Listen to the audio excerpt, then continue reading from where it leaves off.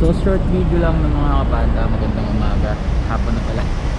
So short video lang tayo na meron kasi tayo, sa ating nagtanong, may nag-message sa page natin tungkol dito sa ating cellphone holder na nakita nila sa vlog ni Ned Adriano. So tinatanong kung paano natin nakabit kasi nga unique. Kasi usually dito nakakabit yan yung cellphone holder. Nilipat ko lang kasi nalalayuan ako no. And para maganda yung view dito. So paano nga ba kinabit to no? First thing is meron ako nito ito. May nabibili naman yan sa market which is yung bracket para sa cellphone holder na clamp type. So, medyo minodify ko lang siya, itinawid ko lang ng konti kasi nakaliko yan. Tapos, dito sa loob nito, meron tor- tornilyuhan, may slot yan dito sa loob which is kasya naman. Tapos, binutasan ko siya dito. Hindi kita no. Videohan na lang natin ng extra, lagay natin dito. Yan. Yan, binutasan ko dyan. Yung saktong butas lang no, para hindi naman ganun kalaki. Hindi siya pasukan ng tubig. She's, yan, good naman. Tapos yun, yung cellphone holder natin nandito. Which is yung Motowolf. Baka naman. Meron na rin siyang charger kaya may makikita kayo dito na cord. Yan. Which is nakatap lang naman yan sa positive tsaka sa negative. And via ignition key.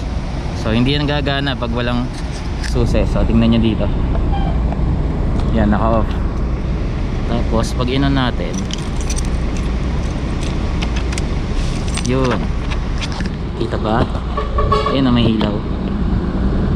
Yan. May ilaw siya. Indication yan na meron na nagpa-flow na electricity. Diyan. May nagpa-flow na power dyan. So pwede ka na mag-charge. So yun lang ang advantage nito. Mas maganda siya. Mas malinis tignan yung windshield mo dito na wala kang mga etchibureching nakasalpak dyan. And pwede ka rin magpalit nung side mirror dito na meron kang cellphone holder dito sa gitna which is wala din dito sa gilid yun. so yun maganda ang view niya okay din naman kaso isa sa disadvantage niya is kapag nagbabiyahe ka na syempre focus ka sa kalsada so para makita mo yung message yuyuko ang konti which is mawawala yung focus mo sa kalsada. Which is mas maganda kung nandito yung cellphone holder mo. So yun sacrifice lang din ng konti. Sanayan lang. So yun. Ito yung ginagamit ko sa paglalalamog maganda rin siya pag nakatigil ka oh. convenient di ba? Andito lang sa tapat mo. So yung alog so far hindi naman siya nalalaglag di pa naman ako nalalaglagan ng cellphone dito yun. Matibay naman.